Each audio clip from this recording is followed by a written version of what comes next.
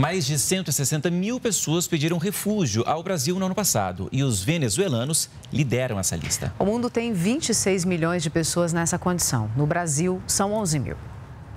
Desde janeiro, Gerson tenta refazer a vida no Brasil.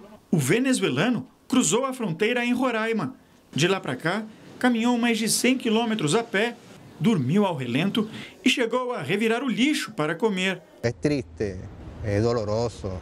Agora, em São Paulo, ele tenta conseguir um emprego como administrador de empresas, área em que possui diploma universitário. Gerson é uma das 161 mil pessoas que solicitaram e aguardam refúgio no país em 2018. Porque foi imediato. Foi imediato.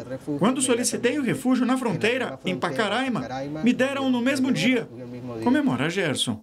No mês passado, o governo brasileiro considerou a situação na Venezuela como sendo uma grave e generalizada violação dos direitos humanos. Na prática, isso significa que se tornou mais fácil para os venezuelanos pedirem refúgio no Brasil. Dos 80 mil pedidos ocorridos no ano passado, 61 mil vieram da Venezuela. Os dados fazem parte do balanço Refúgio em Números, apresentado pelo Comitê Nacional de Refugiados do Ministério de Relações Exteriores. Na sequência dos venezuelanos estão os haitianos nas solicitações de refúgio. A maioria dos refugiados tem entre 30 e 54 anos. Os pedidos de refúgio mais que dobraram de 2017 para 2018, subiram 136%.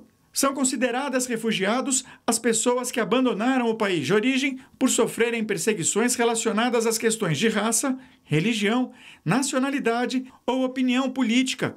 A legislação brasileira é considerada modelo no mundo por abrigar essas pessoas e oferecer a elas uma segunda chance.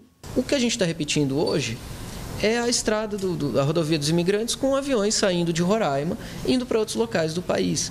E que o país demonstra com muita maturidade e responsabilidade, assim, uma vocação para acolher esse público. Né?